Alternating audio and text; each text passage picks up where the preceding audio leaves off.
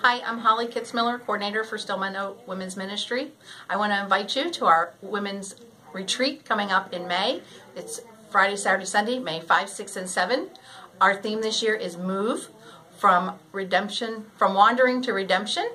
I want to excitedly share with you that oh, we have two speakers this year, Aubrey Kleinfeld and Chastity Frederick, and our musical worship will be provided by Holly Dodd Ginger. If you can't find the form, contact me. I'll be glad to email you. We have a Facebook page, email, phone number, however.